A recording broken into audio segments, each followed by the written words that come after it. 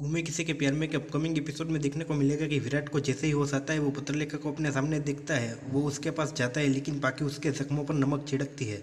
वो विराट से पूछती है कि मेरे जैसा बनकर कैसा लग रहा है? क्योंकि जब मैंने तुम्हें सही की मांग में सिंदूर भरता देखा था तो मुझे भी वही तकलीफ़ हुई थी जो आज तुम्हें सत्या को देखकर हुई। वो विराट को जमकर खरी खोटी सुनाएगी, लेकिन विराट भी जवाब देगा कि उसने कभी भी पत्रलेखा से प्यार नहीं किया और हमेशा सही से ही करता था। पाकि विराट को छोड़कर जाने का फैसला कर लेगी। वो तलाक के कागज़ पर साइन करेगी और कहेगी कि सही के शादी करने के बाद भी मैं तुम्हें नज़र नहीं आ रही।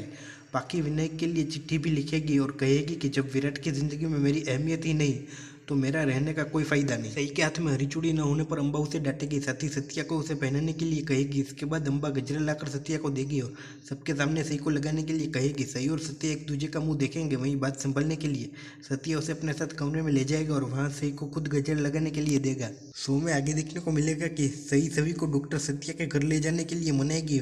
वो सभी के सामने प्रोजेक्ट का बना बनाएगी, वहीं जैसे ही सही सही सभी को बताएगी कि उसने डॉक्टर सत्या से शादी कर ली है तो सभी उससे सवाल करेगी कि क्या वो मेरे बाबा होंगे, इस पर सही सोच में डूब जाएगी। अब ये देखना दिलचस्प होगा कि सही बेटी को क्या जवाब देगी।